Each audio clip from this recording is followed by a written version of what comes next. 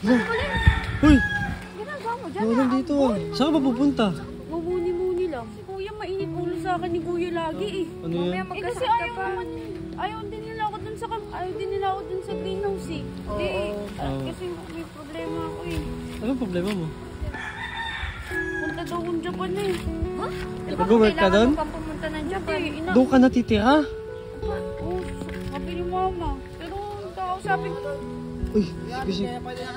Huwag ka daw. Ayaw mo ako nila pauwiin eh. Nino? Hindi na kuya.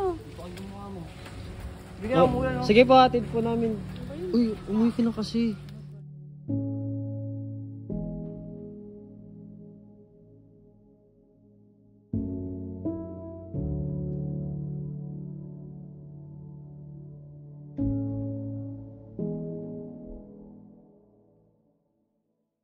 Hi guys, ayan pupunta kami kina Ate Sam Sam. kasi meron kami in order na tapyoka. Oo nga. Kahit tag-ulan, ko kahit malamig. No? Kahit malamig, magmamalamig pa din. Siyempre, tignan mo, nakakook na nga tayo. Naka... Dapat sama natin si Bakla. Oo nga eh, busy kasi. Uy!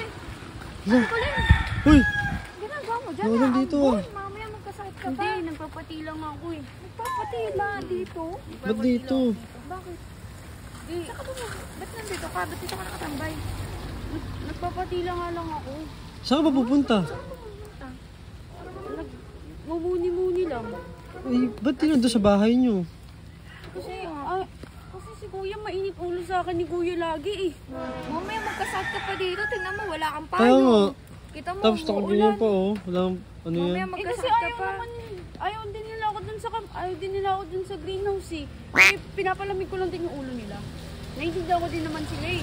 Kasi syempre, di ba, syempre yung ginawa ko dun sa ganggang eh, di ba? Oo, pero siyempre kapatid ka pa rin naman nila eh. Oo nga. Kailangan mo palamigin yung... Alam mo, lalamig agad yan kasi malamig yung panahon. Oo. Oo. Kasi may problema ako eh. Anong problema mo? Problema mo.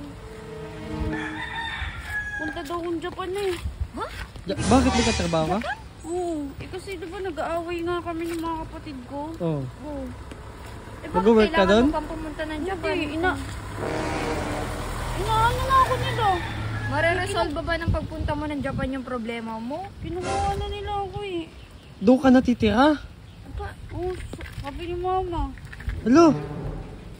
Eh, ayun nga eh. Pero kakausapin ko.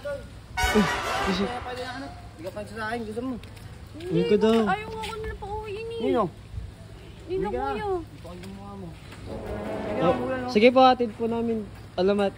Uy, umuwi ka na kasi. Hindi, hindi niya pa nga alam na pupunta na akong Japan eh.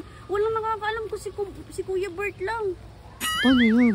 ano yun? Kung, baka mamaya pag sinabi mo, maging okay na kayo. Oo nga. Oo nga, baka yun yung ano, di ba? Di ka yan mo. Mag magagalit lalo yun kasi sabihin nagsumbong ako.